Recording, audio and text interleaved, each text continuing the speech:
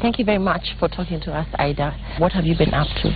A lot of things. It has been rather difficult year, most of it. Come January 3rd, that's when Fidel passed on. And then everything else just went haywire, just changed. But uh, I hope things will turn out better. Let's talk about Fidel, Ida, and the type of child he was. Fidel is our firstborn. And uh, when he was born, he was a bumpy, big baby. I could tell from birth that he was going to be really long, or tall, for that matter. And uh, he was a lone child for a, a little bit, four and a half years before Rosemary came in. And he was a very cheerful baby, very nice, and he grew up to a, a loving young man, and uh, very playful, but always reserved in a way, in one way or another. And uh, he was a loving child. Now, you know, um, when Fidel turned nine, I think there was also tragedy again in our lifestyle because that's the time when the father, that was 1982, when the father was arrested, charged with treason, and then later on detained. So for six and a half years, from 1982 way to 1988 February, uh, were the father was not there, and I brought up these children alone. And uh, by the time the father came up, he had turned into a teenager. So most of the formative years of Fidel, for example, it was with me, and uh, not necessarily the father. When the father finally came out after those detentions, uh, Fidel was uh, 17, approaching 18, and of course they started rebonding again. And soon after that, after one year, only one year, he went to the university and left the country. And he stayed away for quite some years. Would you say that because you were with him as a mother more than his father was, that he was closer to you? He was very close to me because, probably because I was the one available at that particular time. But I realized that when he came back from US and settled back in Kenya, he was always very close to the father also. Because those who know Fidel well and who saw him knew that he used to accompany his father into many, many places, be it the meetings or rallies or whatever function.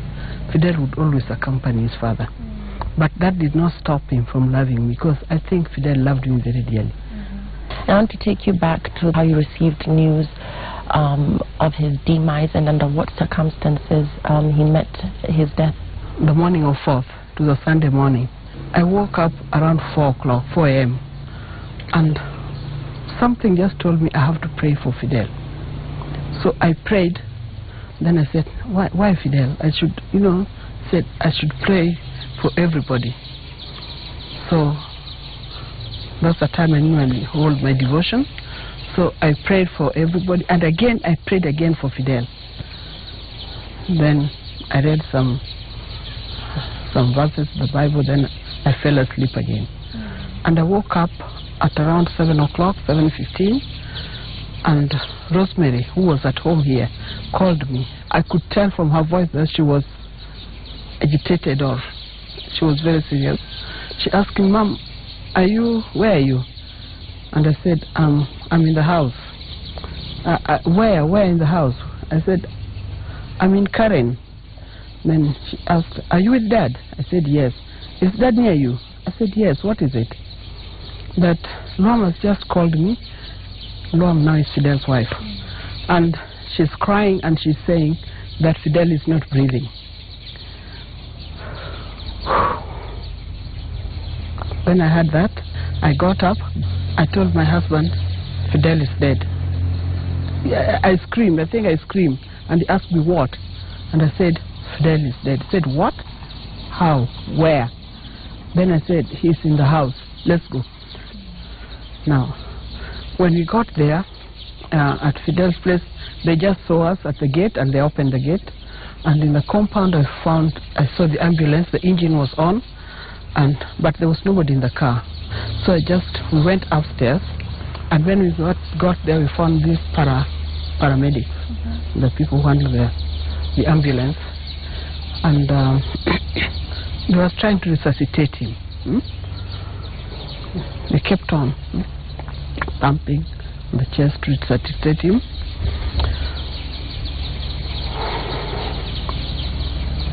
Yeah, I got closer and I touched the feet, but I could see the feet were pale, huh? pale, a bit yellowish, huh?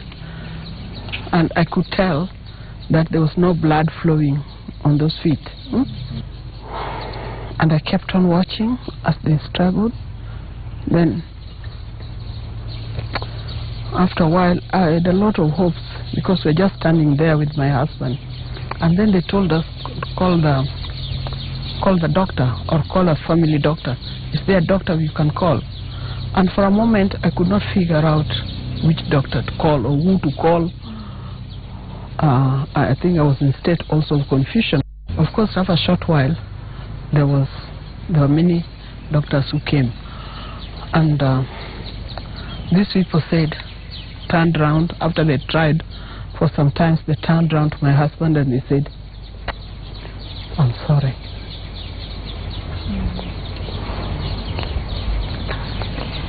We have lost him.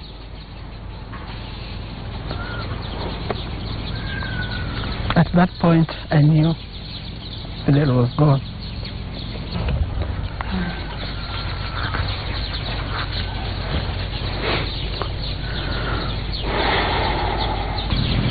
And the nation uh, proceeded to mourn with your family.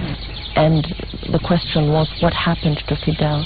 And that is the question that people continue to ask until today. Was the cause of his death uh, determined? Um, were those answers given to you as a family? At that particular time, we did not know the cause of the death, but still, we don't know exactly what caused Fidel's death. And, and I think that is what makes Fidel's, death painful. They are still carrying out investigations, but I know one day, sooner or later, we'll know what caused Fidel's death. Mm. We saw the other day you tweeting um, on his birthday. Um, as a family, what are you doing to keep his spirit alive? I remember Fidel every day. Every day. All the time. I still pray for his soul. Uh, we do things that reminds us of Fidel. The other day, on the 2nd of, Feb- uh, of November, that was his birthday. So I just decided to write a letter to Fidel.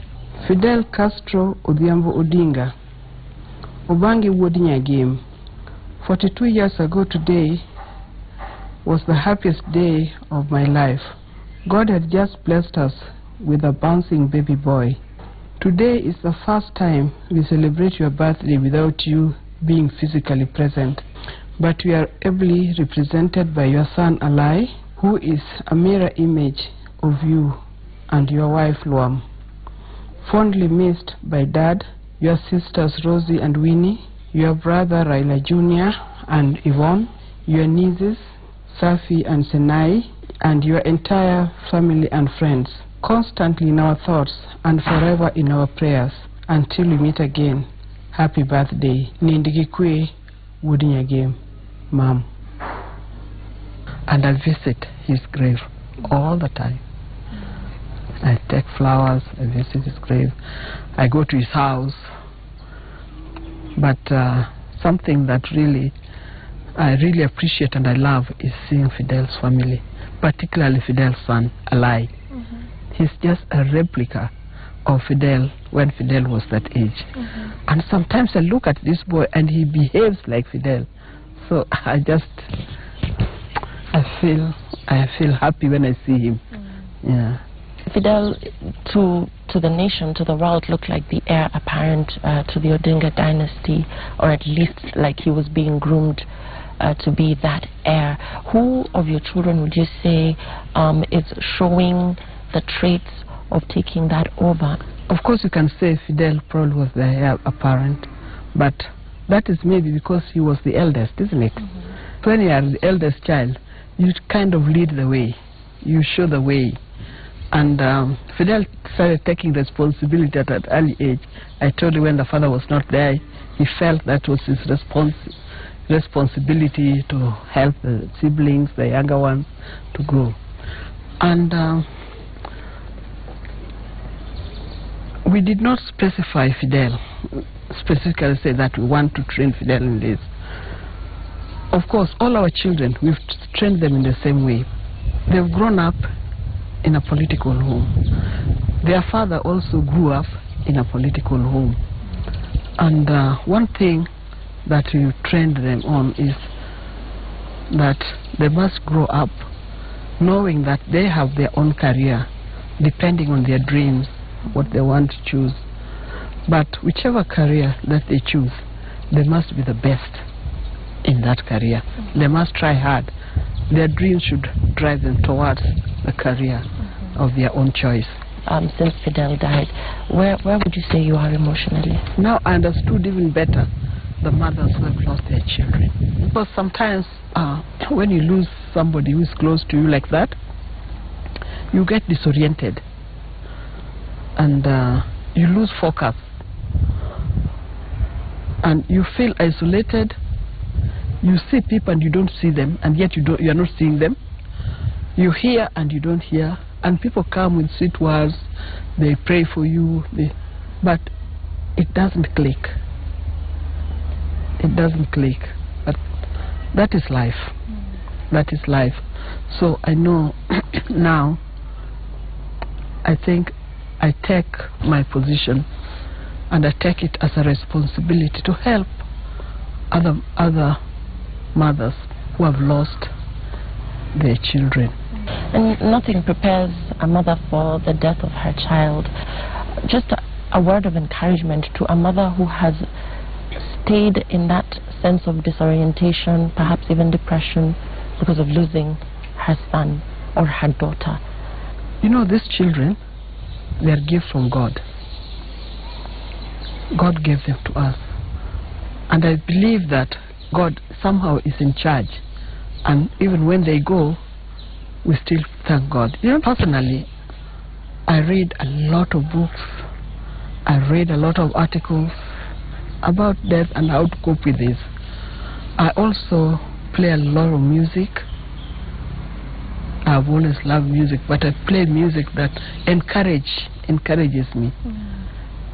And I'll ask them to do the same in our own respective areas. We need to form some kind of support group. Away from Fidel, let's talk about you um, as the wife of this enigma, Raila Odinga. What a lot of people don't know about you and what it takes to actually uh, be the right-hand person of this man, to share in his vision, to be with him during the highs and the lows, to celebrate his successes, to lift him up when he feels demoralized. There's no college or institution that prepares politicians' wives. You just find yourself, you are plunged into that thing. And most of the time, you'll find that you are not even consulted. And you become a politician's wife. So, um, life is a bit difficult because anybody and everybody can walk it into your life. And then anybody and everybody can say anything about you, whether they are right or wrong, true or false. But you must, as a person, you can draw your own, you can draw your own boundaries and say beyond this, I would not go, huh? and so forth. But the most important thing is that whether you're a politician's wife or a bishop's wife or doctor's wife or whatever, uh, if you had made a, a, a, a, a decision to marry them, stick by them. Stick by them. And um, but you can also talk to them if you think they're doing something wrong, or people send you to them. Me, I get thousands of messages. Tell Mheshimiwa this, tell him this, tell him this.